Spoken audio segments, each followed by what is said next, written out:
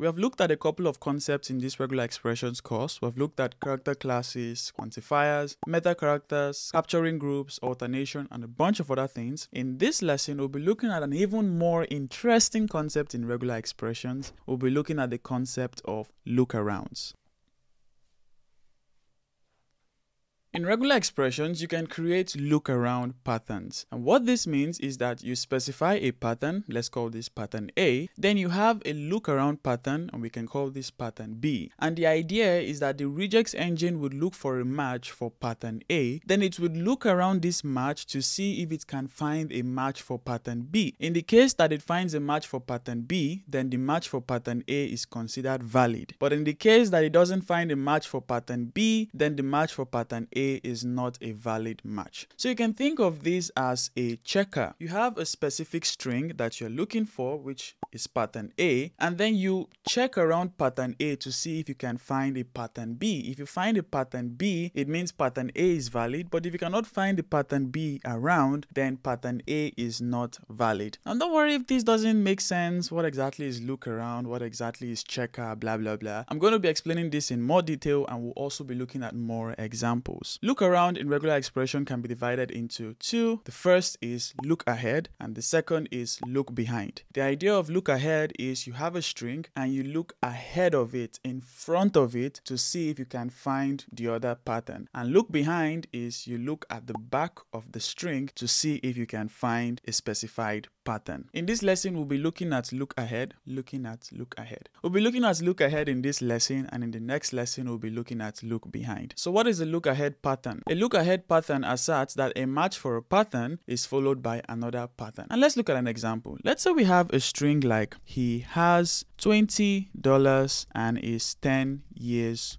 old. Now, what if we want to know how old this person is in this sentence? Now, maybe we can use a pattern that matches numbers like this. We have the digit meta character, and then we have the plus quantifier, which means one or more. So here we're saying one or more digits. Now, by using this pattern, you can see it is matching two numbers in our string. It is matching 20 and it is matching 10. But in this case, we want to get the number that indicates how old this person is. And how can we determine that? Well, we can look for a number that is followed by years old. So if we can define our pattern in such a way that it will match only the number that is followed by years old, then we know that this is how old this person is. And this is where we can use a look ahead pattern. The syntax of a look ahead pattern is what you can see on the screen. So we have y, then we have an open parenthesis, a question mark, an equal symbol, then Z, and we have closing parenthesis. Y in this pattern represents the pattern that you are looking for, and Z in this pattern represents what you would look ahead for. So telling the regex engine here is that look for a Y, and after finding that Y, look ahead of the Y to see if there is a Z. In the case that there is a Z, it means Y is valid, and in the case that you cannot find a Z, that means Y is not valid. For the parentheses, you use question mark and the equal sign. If you don't use question mark and equal sign, that means you are creating a capturing group, but we're not creating a capturing group. So the question mark and equal sign tells the regex engine this is a look ahead pattern. So coming back to our example here, this is our Y. The Y is the digit meta character and the quantifier. And now we want to look ahead of this digit. So we have open and close parentheses and we have question mark and the equal sign. So it means when you find a number like this, look ahead of it. Now, what do we want to look ahead for? We want to look ahead for space, Y E A R S space OLD. So here I can say space Y E A R S space OLD. What do you notice here? We now have only one match. 20 is no longer matched, but 10 is now matched. And why is 10 matched? Because if you look in front of 10, you can find a space years space old, which we have in our look ahead pattern. But you cannot find a space years space old after 20. So what the regex engine does here is that the regex engine will first look for this pattern that we have here, which is the digit meta character and the plus quantifier, which means one or more digits. So the regex engine, starting from the left, would find 20. And after finding 20, before it returns this as a match, the regex engine would now check in front of 20 to see if you can find space years space old. Now in this case, you cannot find space year, space old, so the regex engine knows this is not a valid match. Then the regex engine keeps going forward and forward and forward and forward. Then it finds another one or more digits here, and before it returns this as a match, it will check is this followed by space year, space old. In this case, it is followed by space year, space old, so it would now return 10. Now what you see here is that the regex engine is not going to return 10 years old, it is only going to return 10. What happens is that the look ahead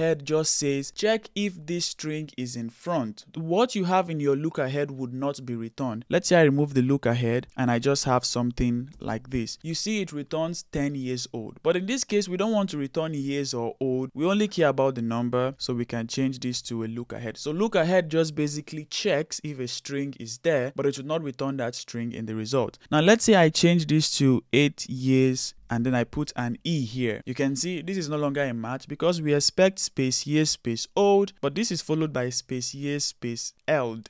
I don't know what that is, but let's change this back to O. Now I'm going to give you a very simple exercise and you can pause this video, head on to the regex101.com website to try it out. But let's say I want to get a digit that specifies how much this person has. Can you figure out the right regular expression for this that would involve look ahead patterns? You can pause this video and try it out before I share the answer. I'll wait for you. I hope you try that out for yourself, but since we want to get the number that this person has, then we can look ahead for space dollars. So if I clear all of this in my look ahead pattern, I have space and then I have dollars. You can see 20 is now matched, 10 is no longer matched because our look ahead says look ahead of the digit and see if you can find a space dollars. And here we can find a space dollars, but in this case we cannot find a space dollars, we can only find a space years old. Now what we have seen so far is a positive look ahead where we look ahead of a particular string to check if it is followed by another string and in the case that it is followed by the other string that we want we know that this is a valid match. But we also have something called negative look ahead. And negative look ahead is the opposite. It means return this if it is not followed by this in the case of positive look ahead, it means return this if it is followed by this. But in the case of negative look ahead, it means return this if it is not followed by this. And the syntax for this is you have your y, you have your open parenthesis, you have question mark, exclamation sign, and you have z, and you have closing parenthesis. So this is the syntax for a negative look ahead. For the positive look ahead, we have y, we have open parenthesis, and we have question mark and equal sign before the z. But for negative look ahead, you have question question mark and exclamation. So coming back to our example here, let's say we want to match the number that is not followed by space dollars. We can change this equal here to exclamation. And now you can see 10 is matched, but another thing you notice is that 2 is matched. And why is this the case? Well, that is because for our digits here, we specify one or more. So what happens here is one or more means one or two or three or four or five repetitions. And in the case of two, we have one repetition. And if you check after two, you don't have a space dollars. And that is why two is matched. If I come here and I change this quantifier, instead of saying one or more, if I change this to two, you can see this is no longer matched because the regex engine is going to check two repetitions. And this is the two repetitions of digits. And then for our negative look ahead, it means it should not be followed by dollars. And here it is followed by dollars. So 20 is not returned. Instead, 10 is returned. But if I change this back to plus, because plus means one or more, the regex engine finds one repetition of the digit and it checks if it is not followed by dollars. In this case, after two, you cannot find space dollars. Let's say after two, I put a dollars like this. You can see two is no longer matched. So regular expressions, it can be tricky sometimes. But let's say I put years